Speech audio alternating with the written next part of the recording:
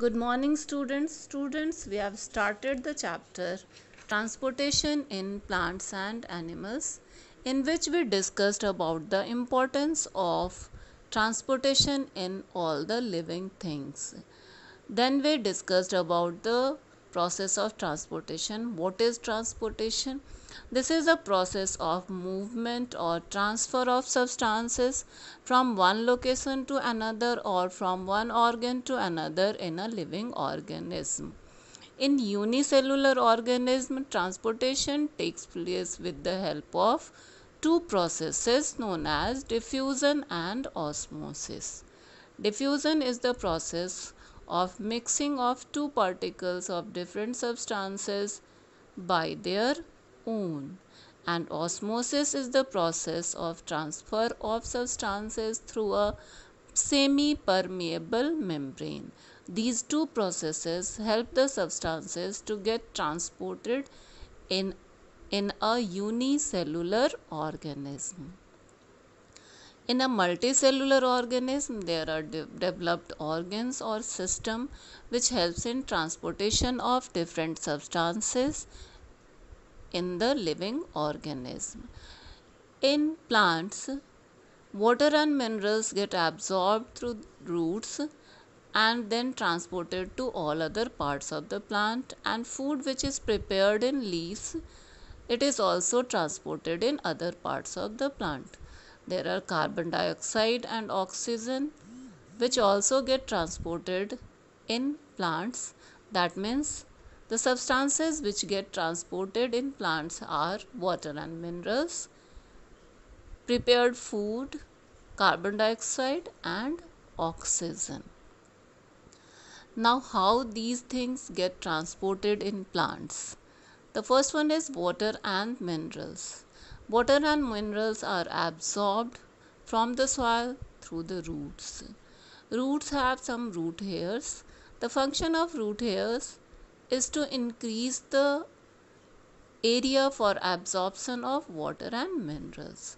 The water and mineral which get uh, absorbed through roots then transported with the help of a network of tubes which is known as xylem. That means a network of tube present in a plant which transport water and minerals from root to different parts of the plant there are one uh, there is one other network of tubes present in plant that is known as phloem and it helps in transportation of prepared food from leaves to different part of the plant. They are conducting tissues and they are also called vascular tissues as they are present in special structures called vascular bundles now students I am going to explain one experiment to show that water absorbed by the roots of plant is transported from stem to leaves and flowers through the xylem. For that we will require a white flower of balsam or rose, two beakers, red and blue ink, a sharp blade and water. What we will do? We will fill the beakers with water then we will add a few drops of red ink in one beaker and a few drops of blue ink in the other beaker. Now we will take a flower with a stem that is at least 15 centimeter long. Using a sharp blade, we will carefully cut the stem into two parts, halfway up towards the flower.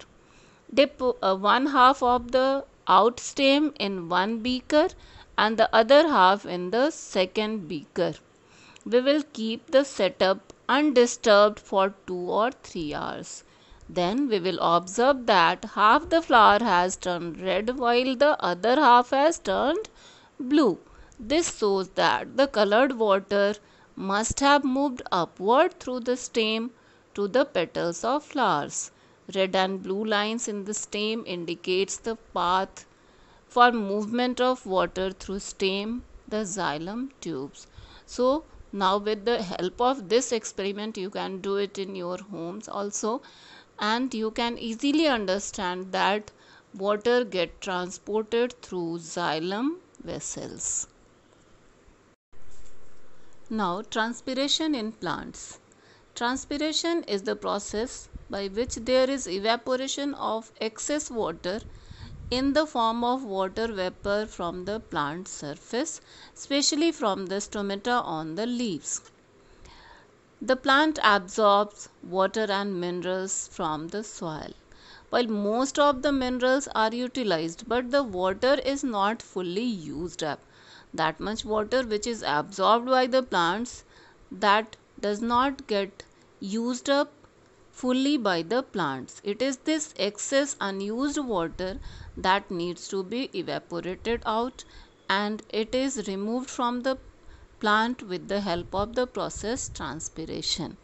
Transpiration is beneficial to the plants also because it creates a suction pull which helps water to be transported to great heights in tall trees.